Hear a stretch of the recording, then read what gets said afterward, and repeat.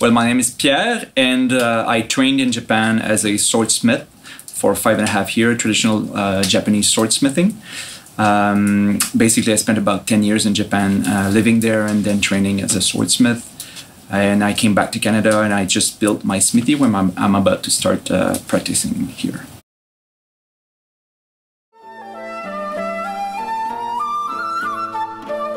The Westerners have been trying to understand and explain Japan the way they try to uh, you know, put knowledge in boxes. It's always the same thing. You know, we try to analyze and understand things, and so they've been trying to understand and analyze Japan since it's open to the West in the late 1800s.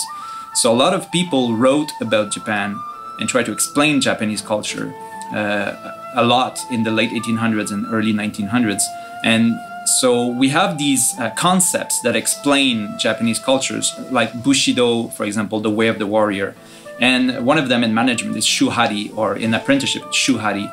It's the steps, the three uh, phases, the three stages to uh, learning uh, in Japan. The Japanese don't really know about this concept because it's a very Western approach to trying to understand and categorize and organize knowledge, something they don't do in Japan. Uh, only a handful of people, of Japanese people or Westerners interested in Japan did. So this knowledge, these concepts, these ideas exist. But it's important to know that it's very Western.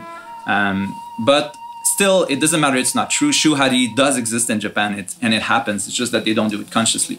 So the idea be behind uh, shuhari is that um, it's it's the phases to learning, and it's uh, for example, shu is mimicking. Uh, you know, monkeying, as I like to say, the the master. So you have a model, a role model. It could be whatever in your in your business, in in in the business, or in the smithy with the blacksmith um, there's a role model and you basically what you're asked to do is to simply mimic him you don't ask questions you don't question yourself he you know he raised the left hand you raise the left hand. He you just mimic him until this becomes natural for you.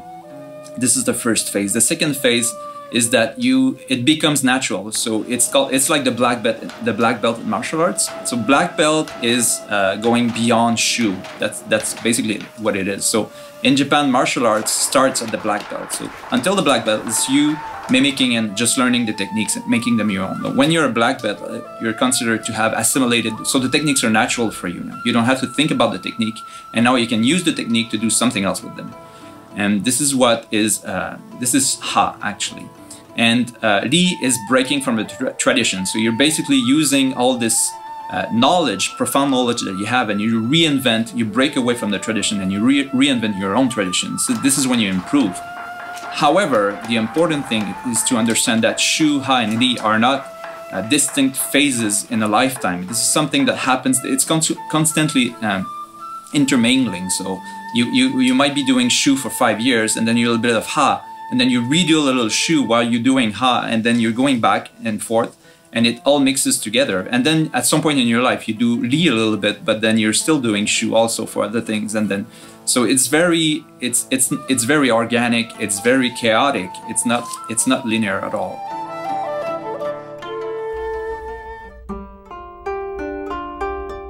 I really like this idea of uh, using the word kata. Uh, I think it's it's the latest in one of these Western uh, efforts to try to uh, explain uh, Japanese culture. Uh, it's the shu part of learning. it has to do basically with mimicking and and just copying a role model until you make it your own. And I've heard this this expression which says "fake it until you feel it," and I, I really like this idea um, that you can um, if you don't agree or you don't understand something, you can still do it. Basically, just accept to do it.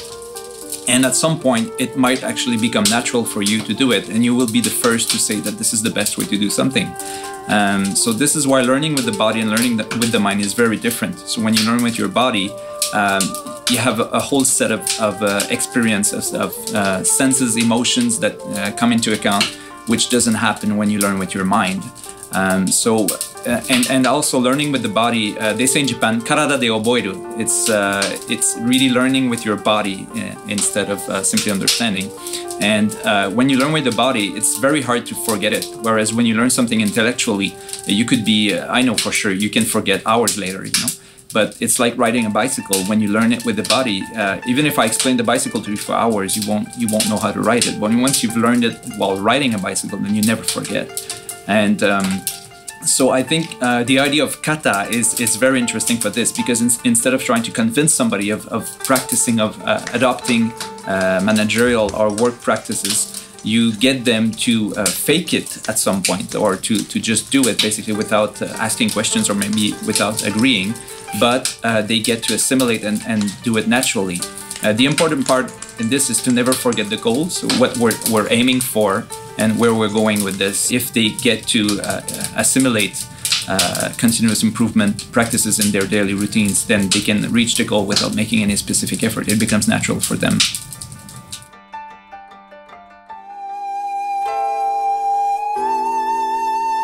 So when I when I learned when I discovered uh, what uh, Mike Rother is doing with uh, Kata, I, my first reaction, and it was just a feeling I had, it was, wow, he's he's taking the artisan back uh, to work. He's he's bringing back the craftsman into uh, humans at work, and I really I was pleased with uh, with the feeling that gave me.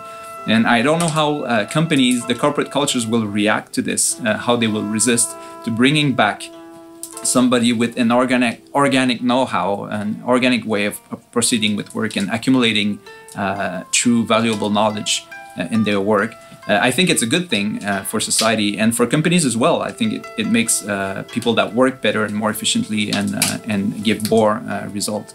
But uh, I'm, I was very pleased to see this.